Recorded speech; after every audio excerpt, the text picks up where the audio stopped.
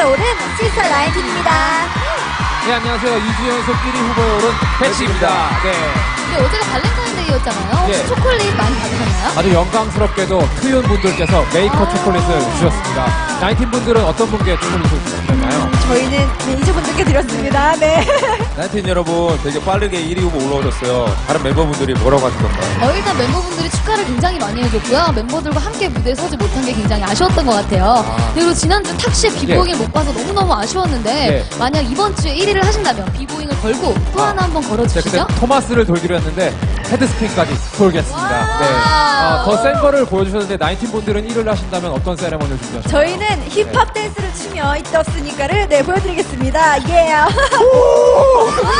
세러분들 세러분들 진짜 궁금한데요.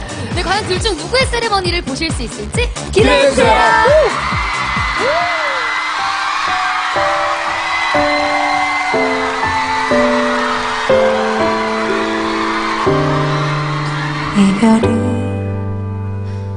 극복하는 법이 궁금해. 인터넷 검색을 해봤더니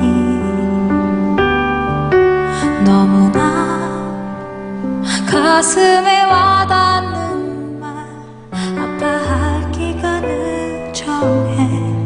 충분히 아파하란 말. 딱 하루만 아플 순 없을까? 그 하루도 내겐 지옥과 같으니까. 쉽게 잊고 또 사랑하는 저 연인들처럼 나도 그러고 싶어. 지우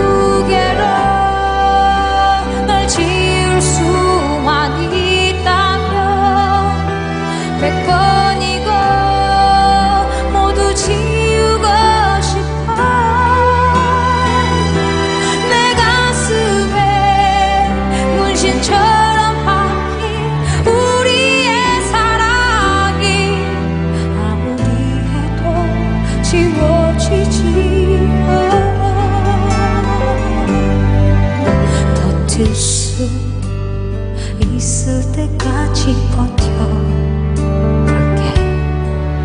말처럼 쉽지는 않겠지만 버티다 도저히 죽을 것 같을 때